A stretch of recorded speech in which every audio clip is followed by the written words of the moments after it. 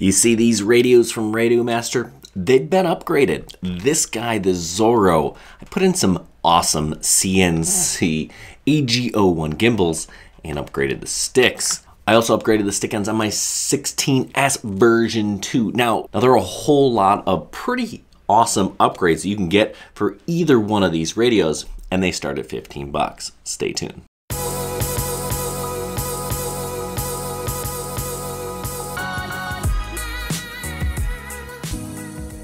All right, so the first upgrade I want to talk about are these gimbals. These are the AG01 gimbals. Uh, they fit both the Zorro or the TX12. Uh, if you have one of those, these are just really nice gimbals, right? They're aluminum, uh, Hall sensor. Uh, they're just really nice. They feel better than the plastic gimbals.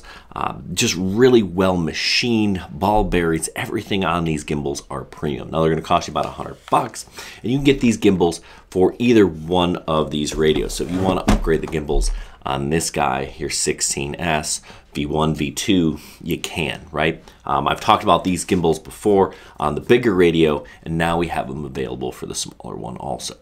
Now I can tell you these gimbals are really nice, but are they really an upgrade over the original? The answer is yes, but uh, I'm not so sure that it's something you need to do. Now the process isn't difficult, but it is tedious. Now I'm gonna walk you through how to do that here. And keep in mind, I made a couple of mistakes. I'm gonna give you some tips and tricks on how to do it right. But if you're not upgrading your gimbals and you don't wanna watch that, scrub ahead. You can see there's chapters down below if you wanna hear about some of the other upgrades coming from Radio Master.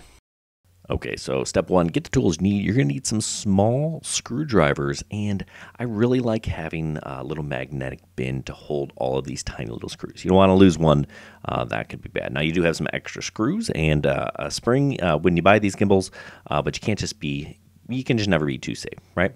So step one, remove the back plate. There's a bunch of little uh, Phillips screws. Uh, put them somewhere safe. Then then take a picture take a picture so you see what's happening. I also i take a picture and i label all the wires right? You can kind of see where they go.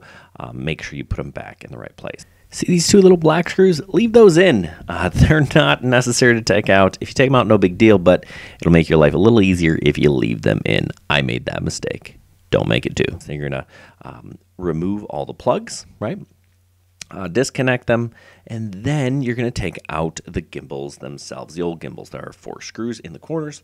Uh, pull them out, unplug if you haven't already, um, and then place the other gimbals in. Now, make sure you put them in correctly, right? There's like a metal bar. Make sure that metal bar is on the left hand side. That's super important.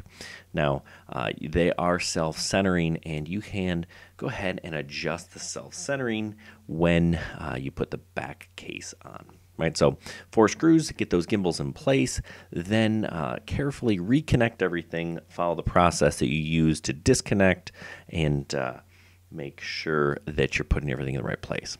Okay, then uh, go ahead and put the back plate on and adjust the tension uh, if you need to. Now, you probably don't need to because, you know, if you're left hand throttle like I am, that's how it was set, but I did mess with it a tiny, tiny bit, and I found that it worked out pretty well. Really like these gimbals.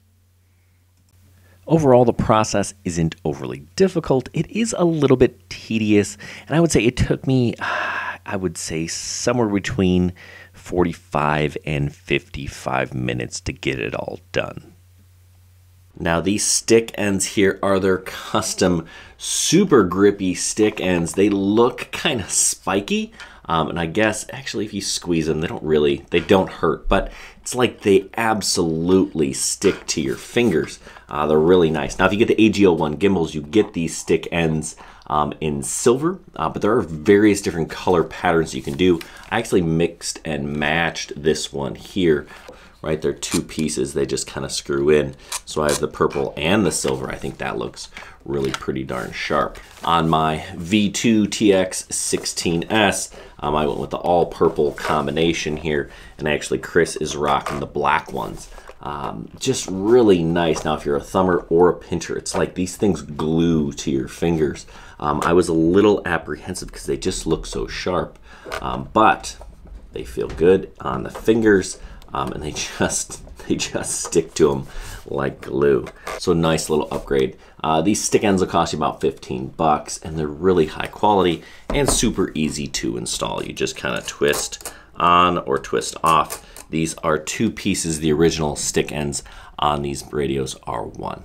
I take it back. The Zorro stick ends, they are two pieces also. But either way, so you can mix and match if you don't want to go full stick end or you just want the top to be sticky. If you're a thumber, you could do that and mix and match with the black. Now Radio also makes pretty solid cases for your radios. This here is the Zorro case, and I'm a big fan. I really like how they designed this one.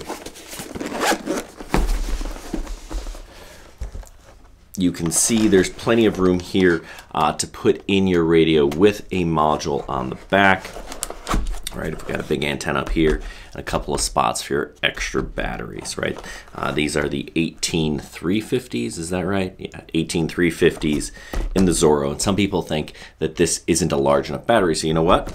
Pick up a couple extras, throw them in the case. Just really well designed, nice case for the Zorro. There are also cases for your 16S. This is the standard one. Um, now in the standard case, um, actually I don't like it uh, because this kind of sticks up a little bit. Now if you have the folding handle, it works really well. Uh, so I don't recommend the small case for the 16S, but I really kind of like the larger case anyway if we look at a larger case, I think this thing is about $35. You got a spot here for both your remote and your goggles. If you fly whoops like I do, I mean, it's gonna fit in there just fine. And if you have the handle up, it still will fit. Um, so you can buy, so to work with either one of these radios. So yeah, Radiomaster continues to impress with their radios. I love the Zorro, I love the TX16 V2. The question is, which one am I gonna fly with? I don't know. They're both so good. I like them both. I'm going to use them both. I think I'm going to stick with the Zorro for my whoops and uh, my 5 inchers and up. I'm going to use the 16S. But that's just me. What are you planning on doing? Which one do you like? Let me know in the comments down below. Are there accessories you'd like to see Radiomaster come out with? Maybe a nicer neck strap. Uh, this here actually is from Beta FPV. I kind of like the design. I'd like to see Radiomaster come up with something fun here uh, for these radios. We know we've got lots of customizable uh, faceplates and things for the TX12. How about the Zorro, right? Maybe some colored grips? Hmm? Anyway, I hope this was helpful. Good luck, everyone, and happy flying.